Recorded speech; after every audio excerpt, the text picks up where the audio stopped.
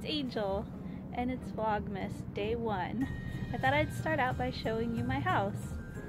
Don't really have a lot of Christmas decorations up yet. I have one strand of lights up on the porch here. See without the sun blinding you.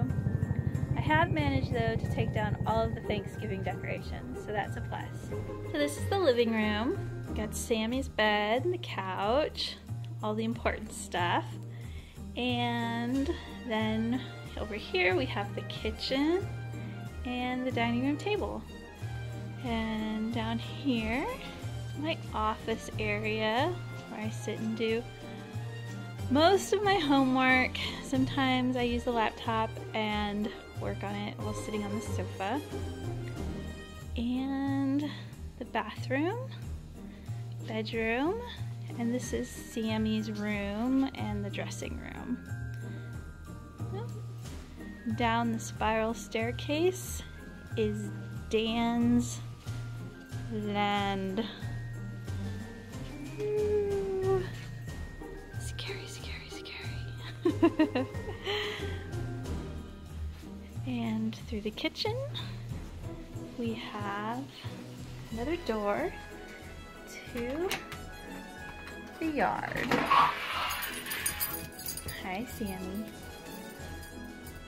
My Christmas wreath. I forgot I put that up too. So I have two things. I have set of lights and I have the Christmas wreath.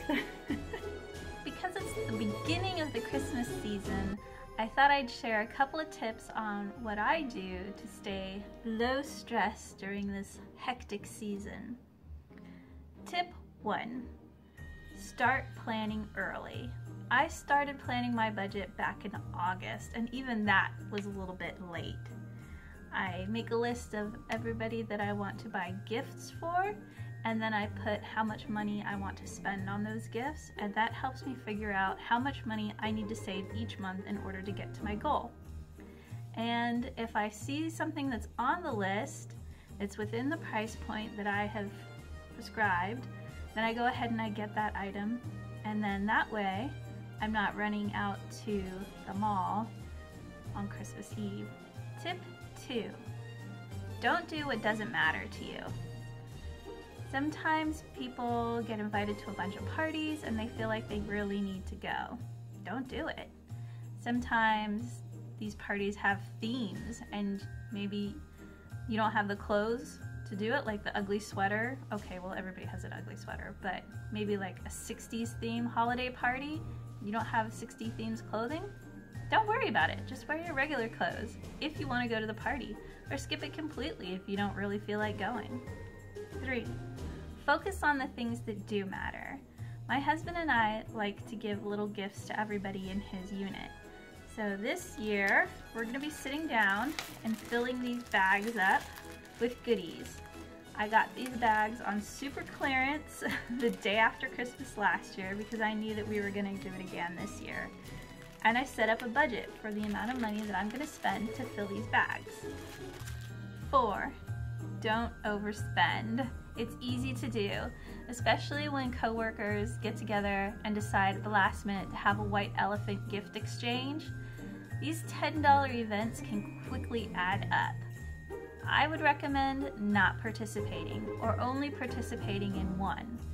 Then use this year's budget to help you budget for next year. 5.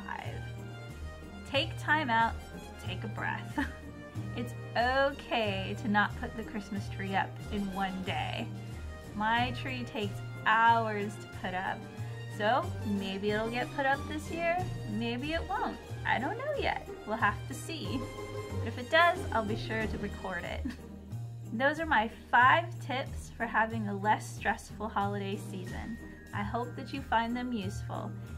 Please share your suggestions in the comments box below. And if you like this video, give it a thumbs up and subscribe to my channel. See you tomorrow!